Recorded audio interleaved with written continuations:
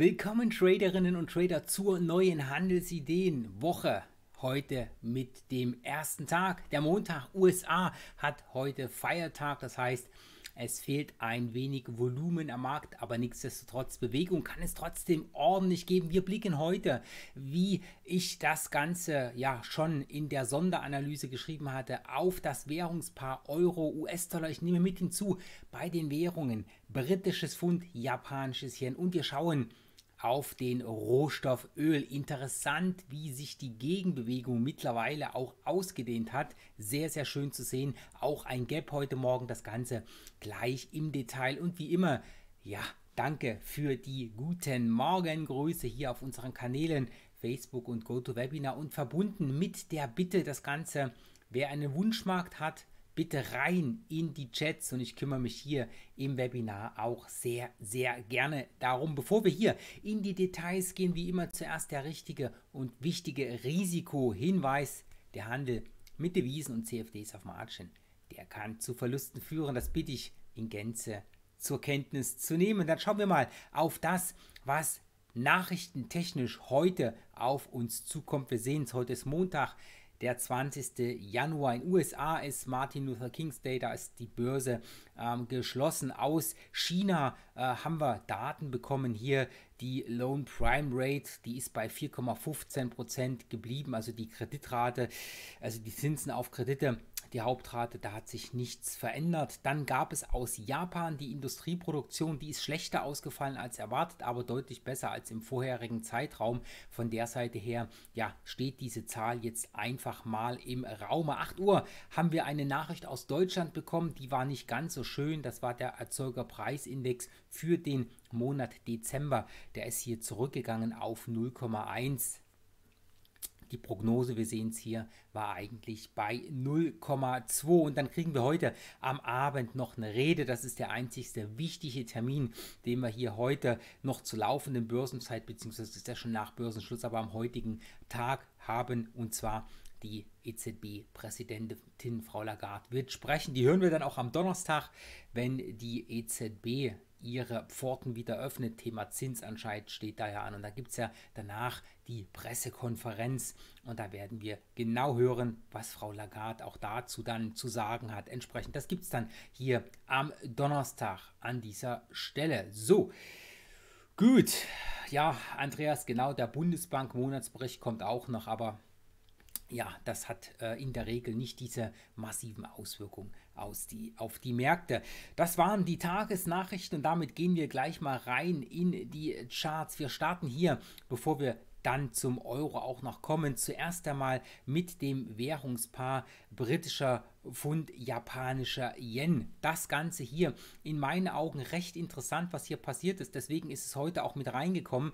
Ähm, Im britischen Pfund japanischen Yen, den haben wir ja letztes Jahr richtig begleiten können. Da war eine richtig geile Party. Hier war der erste initiale Einstieg. Da ging es richtig zur Sache. Dann hatten wir die lange Seitwärtsrange hier oben nochmal schön diese leichte Konsolidierung im Hoch und dann hat es wieder ordentlich geschoben. Also das hat voriges Jahr richtig viel Spaß gemacht. Der ein oder andere wird sich daran noch erinnern können. Ähm, was jetzt hier passiert ist, ist, wir haben einen deutlichen Kursrutsch bekommen. Wir sehen es auch, dieser größere Aufwärtstrend, der ist hier noch in Ordnung. Ich gucke mal kurz hier, wenn ich mal die, die Charts bzw. die Trends mit einblende. Hier ist ein bisschen was verrutscht, aber ähm, hier, wir sehen es, dieser Aufwärtstrend ist weiterhin intakt. Er ist sehr tief korrigiert an dieser Stelle. Hier unten rein bis ins Ausbruchslevel. Das ist übrigens auch recht normal, dass häufig Trends, wenn sie korrigieren, das alte Ausbruchslevel nochmal testen. Das ist eine vernünftige Sache ähm, und dann sollte es stetig Stück für Stück nach oben gehen. Aber diese Stetigkeit ist hier ein bisschen rausgenommen worden. Wir sehen jetzt hier, an dieser Stelle, wir haben hier einen kleinen Zwischenwiderstand. Ich klemme da mal ganz kurz ein Preisschildchen dran hier drüben. Das ist die Marke hier ganz knapp 144,1, 144,2 in diesem Bereich. Da ist momentan so ein bisschen immer Verkaufsdruck im Markt. Ne? Das ist das Level, als hier dieses Gap gerissen wurde ähm, und danach erster Test, runter abverkauft. Jetzt zweiter Test, was sehen wir?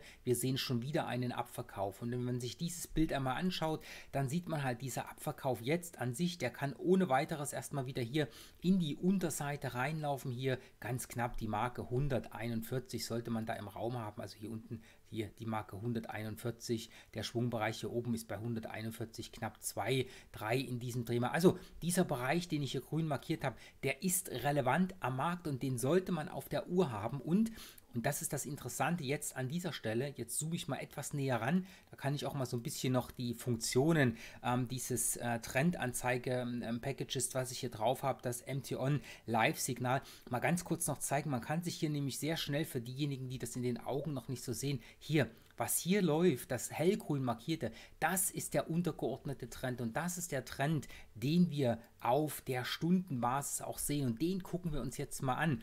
Wenn wir nämlich hier oben, der Abprall ist Geschichte, also ich weiß ja oder ich sage das ja auch immer wieder, ähm, diese Situationen kann man gut zum Range Trading nutzen. Ne? Wir wissen, wir haben jetzt oben eine Range-Begrenzung, wir haben unten eine Range-Begrenzung, oben Short, unten Long und dann in die Gegenrichtung traden. Das ist alles problemlos machbar.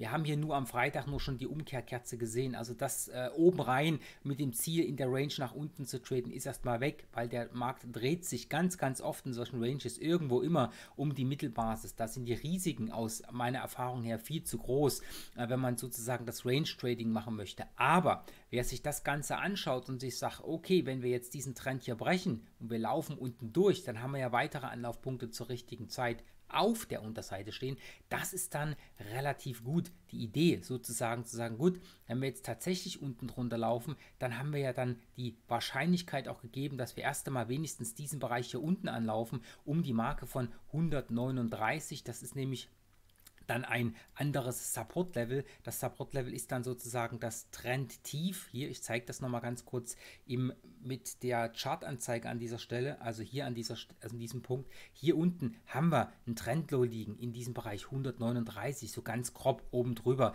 Das ist dann der Weg, wenn es da drunter fällt, wird dieser Aufwärtstrend gebrochen. Und bis dahin, wenn wir wirklich hier drunter laufen, hier unten das Low, was wir hier haben, ziehe ich da auch mal eine kurze Linie dran, das haben wir hier ganz grob hier unten, wo dieser Marker ist, bei um die 140,8. Wenn es da runter läuft, haben wir einen validen Gegentrend. Und das ist jetzt interessant, nämlich wenn die Stunde runterläuft, können die kurzfristigen Trader erst einmal sagen, okay, wenn wir jetzt intraday hier einen kurzfristigen Trend nach unten haben, da kann man sich ja ein Stückchen was von abschneiden und wenn es dann tatsächlich noch deutlich tiefer läuft, dann haben wir die Chance, nach unten reinzugehen. Wichtig ist sozusagen, dass wir hier den Schub nach unten sehen und dass der hier in vollen Gange ist. Das sehen wir an dieser Stelle auch schon. Wie schon gesagt, noch ist dieser Trend nicht gebrochen, aber sobald es sozusagen hier unter diesem Bereich drunter geht, da sind wir drin, da ist dieses Trendbild rausgenommen und dann läuft nämlich der Markt wieder nach unten in Richtung dieses Schubes nach unten hin und dann haben wir zwei ähm, nacheinander laufende Trends in die gleiche Richtung und da haben wir dann tatsächlich Chancen nach unten mit reinzugehen, um das Ganze hier mitlaufen zu lassen. Ich sehe gerade, ähm, Lutz, du fragst, ob das MT4 oder MT5 ist. Das ist MT4, was ich hier am Laufen habe.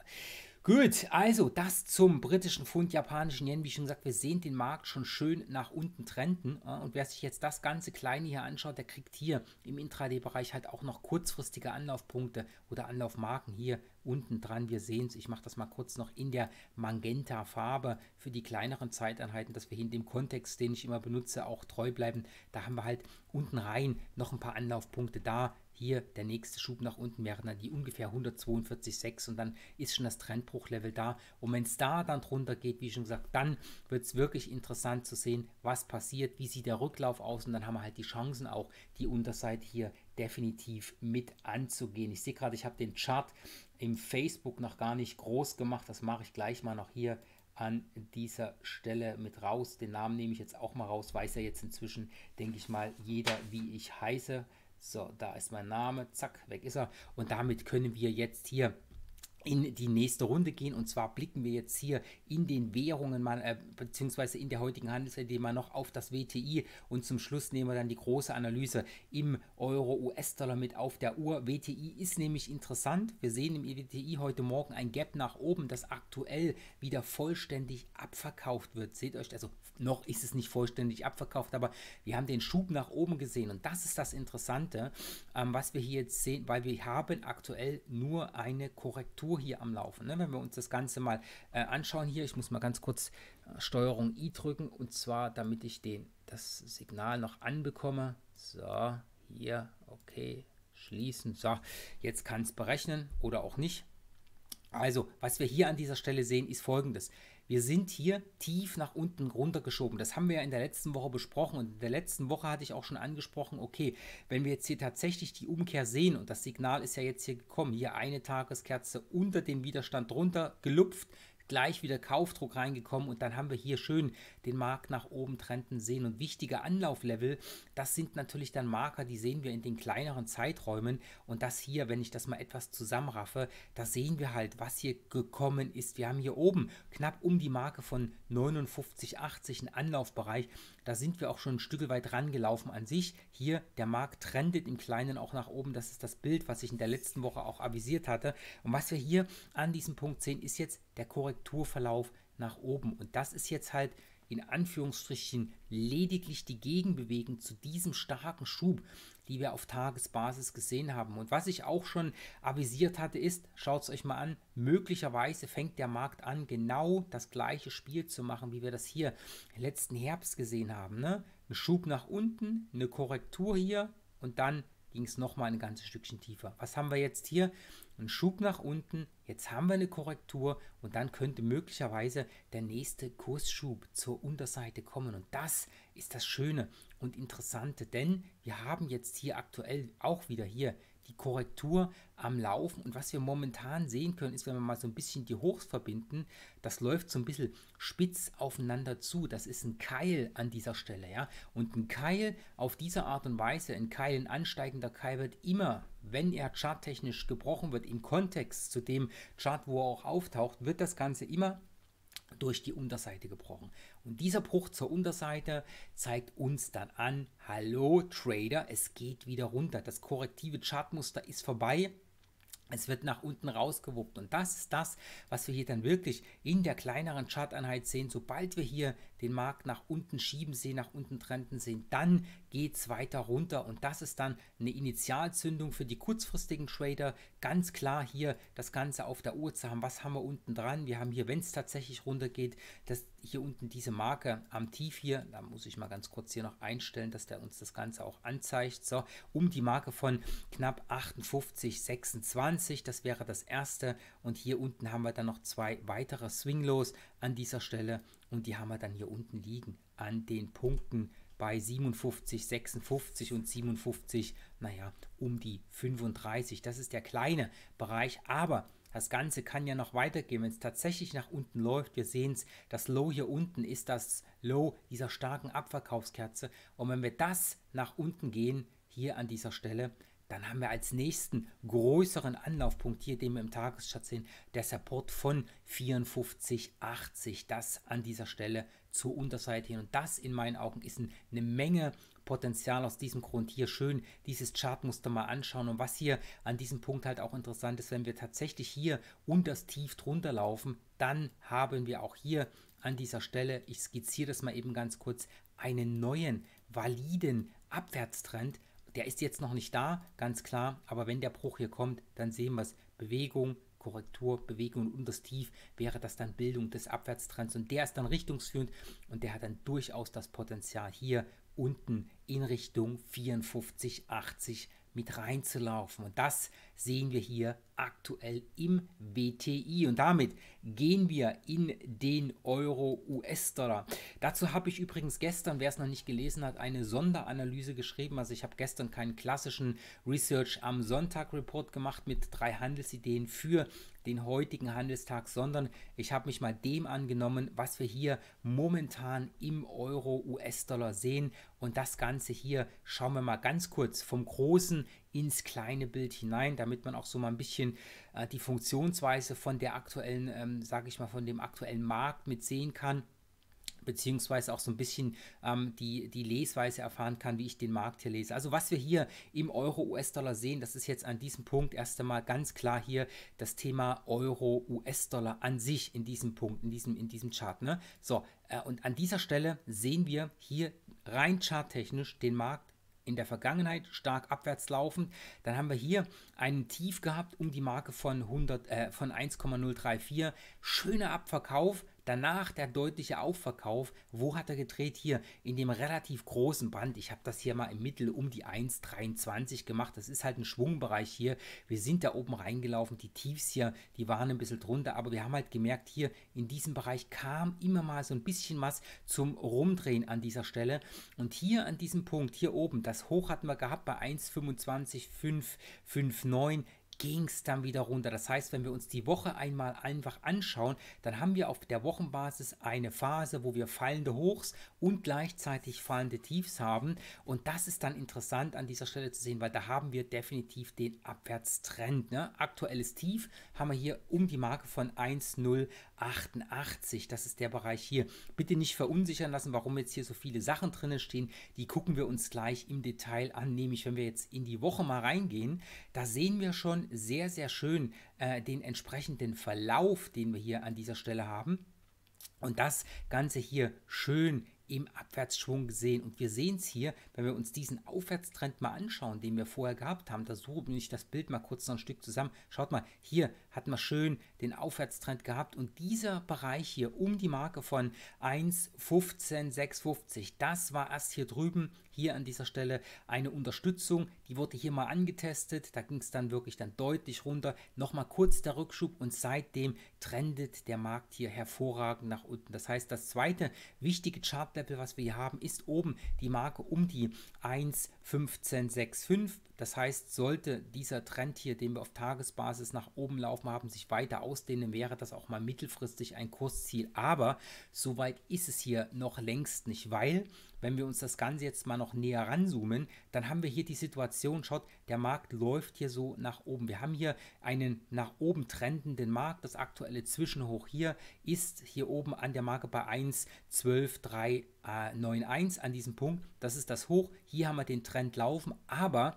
das Wichtige oder die wichtige Marke ist, damit dieser Abwärtsrutsch runterkommt, halt hier oben dieses Level. Das heißt, der Trend, den wir hier sehen, ist momentan sozusagen die Gegenbewegung zu diesem letzten Abwärtsschub. Und wir wissen ja, wenn da viel Spielraum ist, dann bilden sich halt häufig einmal Trends. Und jetzt kommt das, was ich auf Tagesbasis sehr, sehr, sehr interessant finde hier äh, in, diesem, in, diesem, in diesem Kontext sozusagen.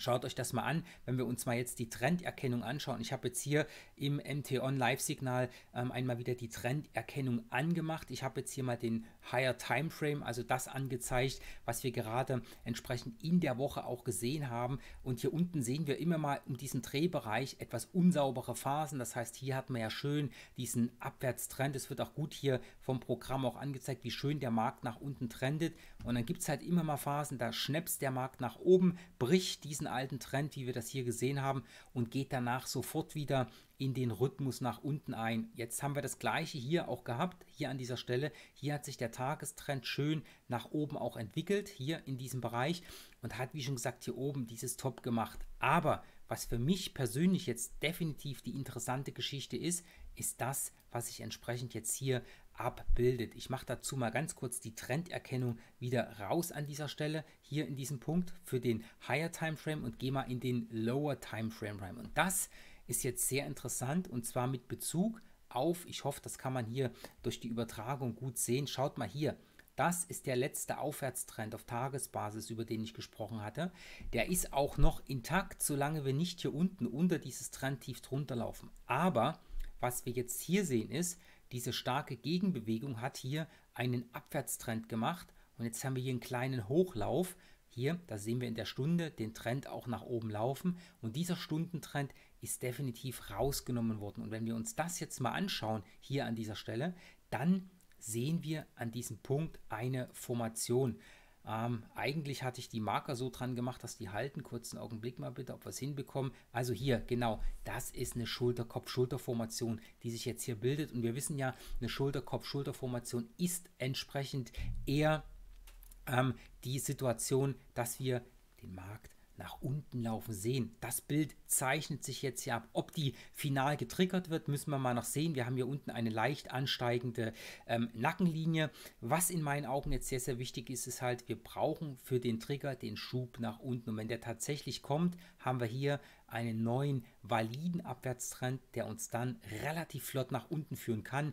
Anlaufmarker bieten uns dann erst einmal in diesem Bereich hier die Swing Lows dieses Aufwärtstrends, den ich hier gezeigt habe, hier unten um die Marke von 1,10400 beziehungsweise unten etwas unter 1,10 bei 1,0989. Das sind so die Bereiche, die wir als gute Planmarke haben, als Swing nach unten hin mit. Und für diejenigen, die sich das Ganze kurzfristig anschauen wollen, sind solche Ausbrüche natürlich auch immer interessant, weil wir haben natürlich auch für die Kurzfrist-Trader Anlaufpunkte. Da wird es natürlich sehr, sehr wichtig, was passiert hier unten am Tief. Hier, da haben wir das Low ja stehen, hier bei 1,10850 in etwa. Da haben wir am Freitag komplett aufgesetzt und jetzt sehen wir hier so eine leichte Gegenbewegung. Das heißt, wir haben diese ansteigende Nackenlinie schon mal leicht touchiert. Und was wir jetzt natürlich brauchen, ist der Bruch unten runter raus. Und deswegen gucken wir uns das jetzt mal in der Stunde an. Ich nehme hier mal kurz den, den Zeitrahmen entsprechend auch mit raus. Und hier sehen wir es schon. Hier das letzte, was nach oben kam, haben wir nämlich mittlerweile unterschritten. Hier haben wir jetzt auch im Kleinen schon laufen einen Abwärtstrend. Hier sehen wir jetzt die korrektive Phase. Wir wissen auch, die Korrektur könnte sich ohne weiteres noch ein bisschen was ausdehnen. Hier oben, das wäre das Ausbruchsbereich. Würde mich nicht wundern, wenn das auch getestet wird. Aber wir müssen halt wissen, wenn der Bruch tatsächlich nach unten kommt und wir laufen hier momentan auch wieder in so einer schönen bullischen, äh, Flagge nach oben, der Ausbruch nach unten, das wäre dann halt die Initialzündung entsprechend zur Unterseite hin und wie schon gesagt mit Blick zur Oberseite hier da war das Ausbruchslevel nach unten, da hat sich hier dieser Abwärtstrend gebildet und das ist das Interessante an dieser Stelle. Möglicherweise wäre das ein korrektiver Anlaufpunkt, aber wie schon gesagt, aktuell sehen wir erstmal nur, dass die Korrektur leicht läuft. Wenn sie schwach bleibt, wie schon gesagt, hier unten haben wir eine schöne Flagge. Wenn die nach unten ausgebrochen wird, dann wäre das das Signal, dass der Kurs eher fallende Notierungen erwarten lässt und dann haben wir hier tatsächlich den Trigger für die Schulter-Kopf-Schulter-Formation und sollten uns dann eher auf der Unterseite wiedersehen. Zumindest, wenn es so läuft, wie es sehr, sehr oft läuft in der charttechnischen Analyse, dass diese Signale dann, wenn sie getriggert werden, auch sehr, sehr schön nach unten mit rauslaufen. Hier im Euro, US-Dollar an dieser Stelle. Also das Ganze hier einfach mal angezeigt, auch mit der Trenderkennung. Das macht die Arbeit wirklich einfacher. Ich mache übrigens ähm, irgendwann auch mal noch ein Webinar, wo ich so ein bisschen das ähm, Paket mit erkläre oder ich hole mir gleich den Olli mit rein hier, dass er da mal eine Freitagssession macht, vielleicht auch mit einem kleinen Live-Trading. Das spreche ich einfach mal mit ihm ab. So, dann haben wir noch eine Frage.